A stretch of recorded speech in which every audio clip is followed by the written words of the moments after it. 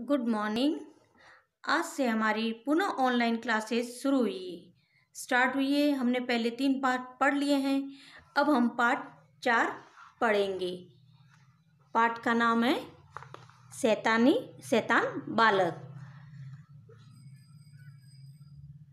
पाठ का क्या नाम है? सैतान बालक।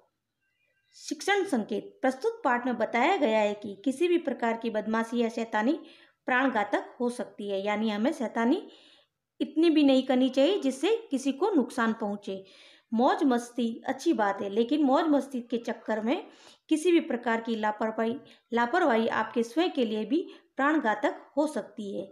इस अध्याय में एक ऐसे बालक, एक ऐसे शैतान बालक की कहानी बताई गई है, जो बाद में अपनी ही शैतानियों से जीवन भर के लिए एक कटु सबक सीखता है। आइए उसके बारे में पढ़ेंगे। उसको खुद को चोट लगती है, फिर वो बाद में वो लड़का अच्छा सीधा या समझदार बन जाता है। उसको सबक मिल जाता है। अब मेरे साथ साथ पढ़ोगे आप भी? सैतानियों का सैतानियों का परिणाम भयानक हो सकता है। कैसा हो सकता है? भयानक हो सकता है। औरों की सैतानियों से सबक लेना चाहिए। औरों की शैतानियों से क्या लेना चाहिए? सबक। इस पाठ में ऐसे ही एक शैतान बालक की कहानी है। कैसे बालक की कहानी है इस पाठ में? शैतान बालक की, जिसको बाद में अपनी शैतानियों से सबक मिलता है। दीपावली के समय अजय के चेहरे पर छाई खुशी तो देखते ही बनती थी। दीपावली उसका सबसे प्रिय त्यौहार था। दीपावली, उसका क्या हम सबका भी प्रिय त्यौहार है। हम सबको इसमें मज़े आते हैं।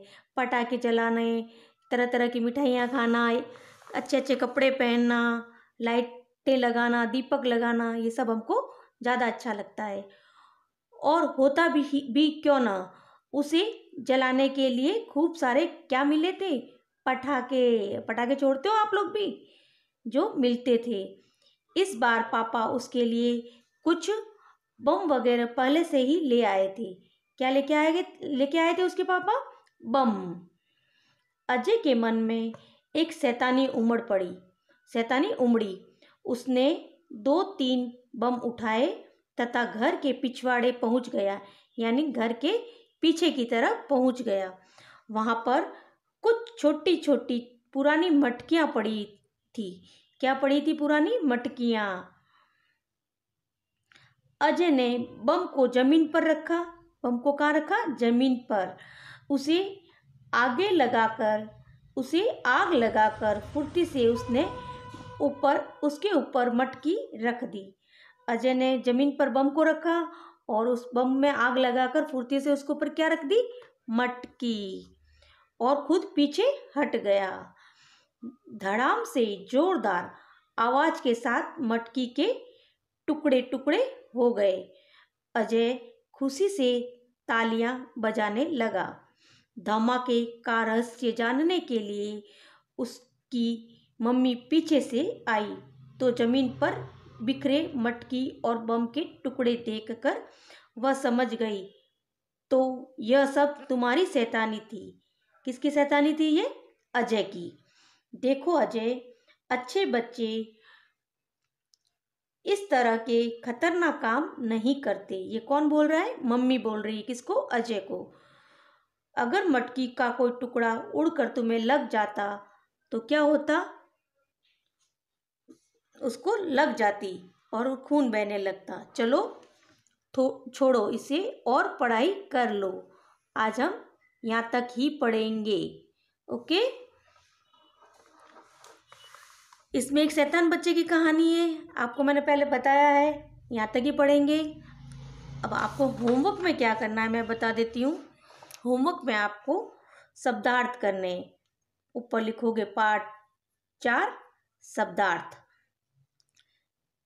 वन नंबर पे एक नंबर सचेत यानी सावधान, दो नंबर प्रिय यानी प्यारा थ्री नंबर खूब यानी ज़्यादा फोर्थ नंबर फोर्थ नंबर खतरनाक यानी हानिकारक फिफ्थ फुर्ती यानी तेज़ी सिक्स नंबर फ़ौरन यानी तुरंत सेवन नंबर सलामत यानी कुशल एट नंबर चेहरा यानी मुँह नाइन नंबर उपचार यानी इलाज टेन नंबर नतीजा यानी परिणाम इलेवन लथपथ यानी भीगा हुआ, और ट्वेल्व नंबर सबक यानी पाठ, उसको सबक मिल गया यानी उसको एक अप मिल गया, है ना? पाठ। कुछ सीखने के लिए कि ऐसी हरकत करने से बहुत कुछ हो सकता है, उसको लग सकती है, उसको ज़्यादा, इस बार थोड़ी लगी, ज़्यादा शैतानी करोगे तो ज़्यादा लगेगी। ओके? आपको शब्दार्थ प्लस आपको प्रश्न, ये सही उत्तर पर राइट का निशान लगाइए लिखित है ना? ये भी होमवर्क में करना है। क, अजय ने फुर्ती से बम के ऊपर क्या रख दिया? क्या रखा? मटकी। सेकंड ख अजय का प्रिय त्योहार कौन सा था? दीपावली। ग, अच्छे बच्चे किस तरह का काम नहीं करते? खतरनाक काम नहीं करते। फिर घ, अजय ने बम कहाँ रखा? अजय ने बम ज़मीन पे रखा। क का उत्तर है थर्ड नंबर मटकी। ख का उत्तर है दीपावली, ग का उत्तर है खतरनाक और घ का उत्तर है ज़मीन। आपको शब्दार्थ और सही विकल्प पर राइट का निशान लगाइए ये दोनों आपको होमवर्क में करना है। ओके?